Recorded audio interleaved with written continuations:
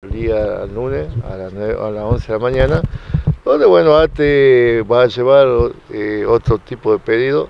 Eh, ya estamos cansados de llevar lo mismo y llevar informe y llevar todo y no hay solución de nada.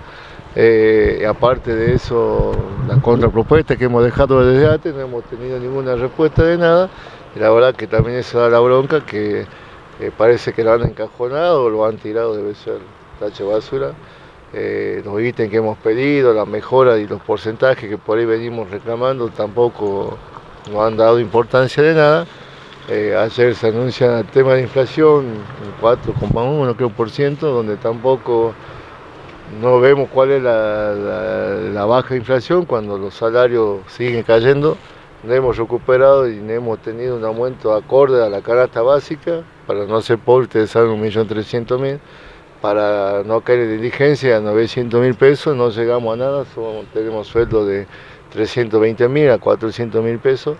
La verdad que eh, seguro la respuesta o la propuesta del gobierno va a ser que eh, 5 o 6% seguro, porque decir que estamos superando la inflación.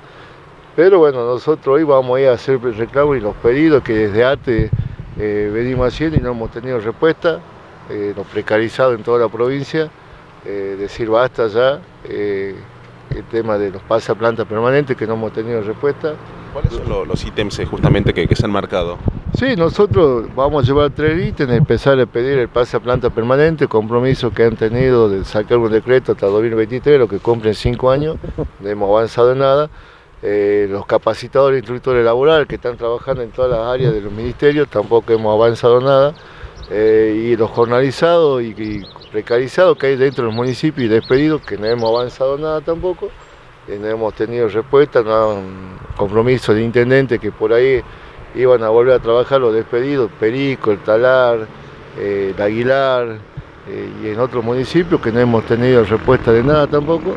y a la vez también el tema de los jornalizados que ya están en condiciones, muchos compañeros en pasar a planta permanente, que tampoco tenemos respuesta de nada, se tiran la pelota entre gobierno y municipio, que no, plata no hay, pero los intendentes siguen metiendo gente. Eh, nosotros también nos damos la sorpresa que la provincia nos dice que no hay nada y, anteayer han metido contratos nuevos. Y la verdad te da bronca porque venimos reclamando gente precarizada en toda la provincia y, la provincia siguen metiendo contratados donde está la mano de obra, serán compromisos políticos que tienen todavía. A que si eso vamos a ir a escuchar y dejar el planteamiento, obviamente no descartamos las medidas de fuerza, y vamos a tener reuniones con todos los secretarios general para empezar a avanzar y obviamente hacer acciones gremiales eh, y obviamente nuestra herramienta el paro y la movilización eh, y obviamente el paro provincial.